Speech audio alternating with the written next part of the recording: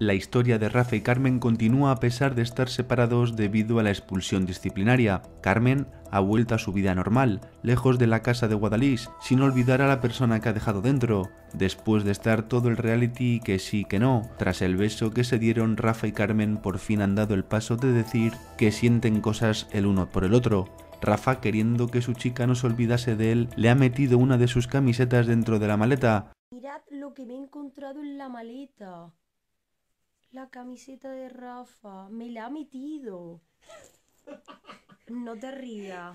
es que tus palabras son muy buenas. Para que huela a él. Dime en comentarios qué piensas de esta pareja tan diferente que se ha formado en el programa y que los dos han dado por hecho que quieren conocerse fuera de la casa. Suscríbete si no lo estás y activa las notificaciones a la campanita, así sabrás cuando subimos vídeo. Nos vemos en el próximo.